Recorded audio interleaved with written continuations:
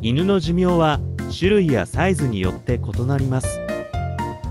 一般的に小型犬の寿命は大型犬よりも長い傾向があります。また個体の健康状態や生活環境も寿命に影響を与える要素となります。簡単にはなりますがそれぞれの平均寿命をまとめましたので犬を飼う時の参考になればかと思います。このチャンネルはトイプードルを飼って感じたこと調べたことをもとに有益な情報を発信していきます。ぜひチャンネル登録高評価コメントをよろしくお願いします。小型犬。冒頭でも言ったように一般的に小型犬の平均寿命は大型犬に比べて長くなる傾向があります。ただし具体的な寿命は犬種や個体によって異なります。これからいくつかの一般的な小型犬種の平均寿命を紹介します。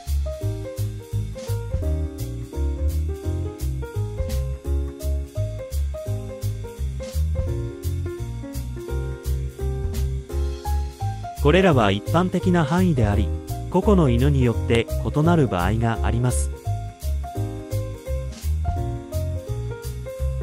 中型犬中型犬の平均寿命は犬種や個体によって異なりますが一般的には10歳から15歳程度とされています。これからいくつかの一般的な中型犬種の平均寿命を紹介します。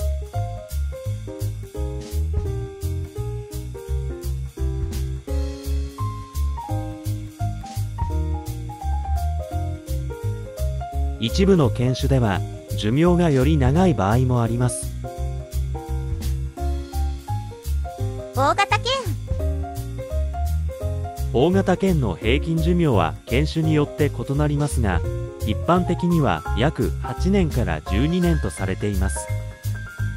大型犬は一般的に寿命が短い傾向がありその一因として大型犬種は関節疾患や心臓病などの健康問題にかかりやすい傾向があることが挙げられます。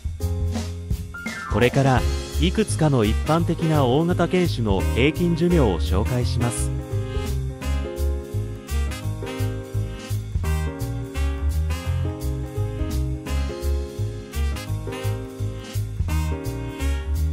ただし個体によってはそれ以上の長寿な犬も存在しますし逆に健康上の問題や遺伝的な要因によって寿命が短くなることもあります。